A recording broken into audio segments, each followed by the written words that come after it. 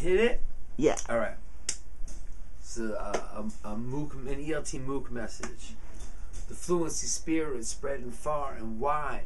Learning through fun is being magnified, even dignified, as we multiply. So many passionate learners are along for the ride.